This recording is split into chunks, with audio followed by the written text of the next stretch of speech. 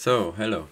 So today I want to show you guys uh, something about kick bass, how I make it, how I think it should be, or not how it should be. There are so many ways to make it good, or I also don't think my bass line is the best, for sure not in the scene, but how I like my bass line is more like with uh, like wide with a lot of dynamics, you know, like lot like too tight also with more um, decay and, and sustain, you know not too tight so like it rolls like but it's tight but it rolls. And also like the like to divide the frequency spectrums you know like the different ones that you get like a really nice and clean but also with a lot of stereo influence um, bassline because a lot of people make bassline only in mono. I did it a long time but then I figured out that I don't know, I was missing something in the bass line always when I was playing on big sound systems and stuff. I noticed something that I didn't like, and then I started experimenting, and then I found out I can also use the bass line in stereo and still have the sub like almost mono and stuff. And but I will show you guys later how you can do this. So this is my setup for my bass line. Here you can see it in the channel strip on the left side. So I show you all the plugins I have in here. The first one is like it's the NLS channel stereo from um, Waves plugins. It's um, something uh, Morris told me from Loose Connection. It was a really good tip, man. Thanks a lot for that. Been using it ever since. And it's like I don't know, like uh, you know, some guys uh, use this plugin. I don't know banana i don't know what what's the name but something with banana and it's like this but then maybe better quality probably because it's from waves i don't know. Still i like it. And what this do does is like um, basically it's like an amp or something. It gives more color and saturation to your bass line so if you hear the difference without with and without i will show you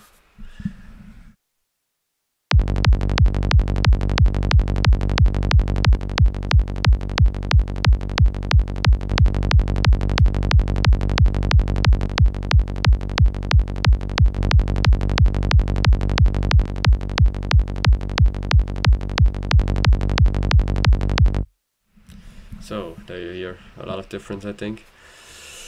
So you you noticed it adds a lot of color to the bassline. You know, VB1 is just a really small plugin.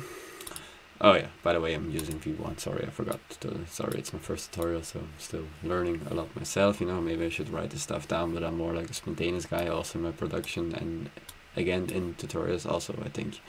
So I'm using VB1 here also you can see my settings. I think this is pretty basic only. I think a lot of people put this damper is like basically sustain. I think like how much um, decay, how much um, space there is to play around with this thing and, and um, I put it like mostly like pretty low, you know, like on uh, 80 to 89 or something. Most people put it like this, like 90 or 92 or something I think but then it gets too tight again. That's what I don't like so much you know. My personal opinion is more like let the bass roll you know like let it loose and then give it some space to move. So uh, then then this is like a EQ, a phase EQ from uh, most people notice it's like just a low cut and a little bit high cut but just like phase EQ then this is like the main part where everything happens. This is only um, only Cubase plugin for now. That's sad for the people who use um, Ableton and stuff. The old Quadrafuzz was um, also possible, I think, in uh, Ableton. If somehow, maybe this one also. There are always some freaks who get the stuff done, you know, and get everything to work everywhere. I'm not one of these guys. I just use the easiest way, the most lazy way. Um, but this one is really nice. You know, here I found everything that I was looking for, and the old one was not able to do this. What I do now with this one, I think, because a lot of people don't like this new one.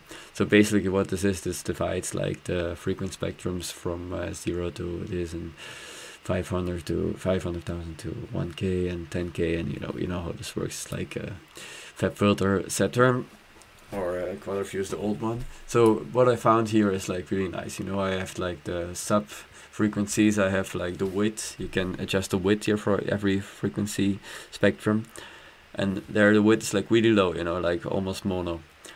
and then for the middle one and the higher one the higher frequencies I, I put the width pretty high because then you get this like you know no you know, the bass the sub frequencies are like in the middle where they should be and like stable and then the other frequencies you can play around in the stereo field and then you get like this really nice clean bass sounds you know when you hear those on, on big sound system I was so satisfied the first time when I hear my new bass lines on big sound system because it's exactly what I was looking for you know.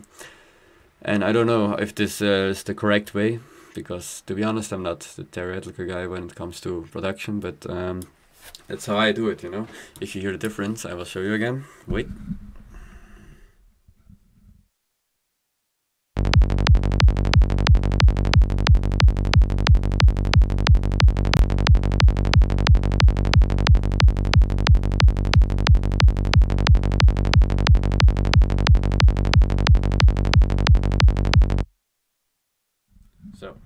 think you heard the difference. So that the wide spectrums get uh, the higher frequency spectrums get much more space, you know, in the in, in the stereo, and that's like I think also someone like uh, I don't know how Dark Whisper makes his um, bass sounds, but it sounds a little bit like the technique he's probably using, and also uh, Alpscore. Uh, then we have like this uh, fab EQ, everybody knows this one. And here I just basically, you know, like EQing bassline is like so much for me, not theoretical because I know some guys are like, you have to cut this one and this one and this one. That's not how I work because I don't know theoretically what I have to cut. I have years for this, I think. And, you know, I just cut everything, uh, all the frequencies that I think are, are disturbing other sounds in in the kick and stuff and you know you have to EQ your kick with your bass you know like basically if you think uh, this frequency from the kick should come more out then you should EQ, EQ, EQ this frequency away with your bass line you know that it has more space in, with it for the kick channel so that's basically how I do it and also my personal opinion not too much high because uh, V1 is a lot of high you know. But I can show you the difference with and without my EQ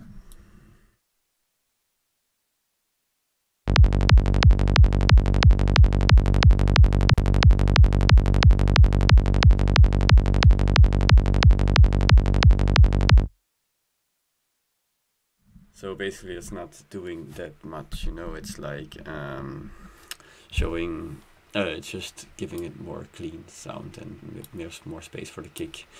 So last but not least we have the compressor and that's like pretty basic compressing because I only use it for um, sidechain. I just do a little bit of sidechain with compressing. I will show you next how I do my um, how I do the real sidechain. I don't like compressing sidechain too much because if you overdo it, what sometimes can happen before you know it, and then it's um, it takes away a lot of cleanness and space for the rolling effect of the bassline again. I think.